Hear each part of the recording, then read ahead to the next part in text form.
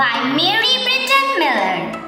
When the night begins to fall and the sky begins to glow, you look up and see the tall city of light begin to grow. In rows and little golden squares, the lights come out, first here, then there.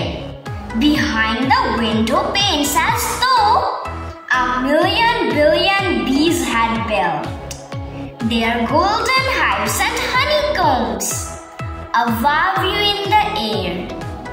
Summary of the poem In this poem, the speaker, who is Mary Britton Miller, thinks that when the night begins to fall, the sky glows up. At day, people get light from the sun but at night it becomes dark. So the people living in the city switch on the lights of their apartment buildings.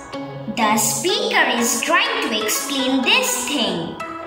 In the city, the buildings and houses are arranged in rows. The windows of the buildings are in square shape.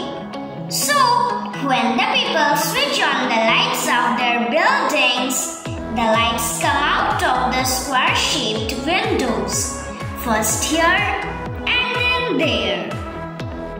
The lights coming out of the windows look like a million billion bees had built their honeycombs. So, these are the things which the speaker is trying to explain in this poem.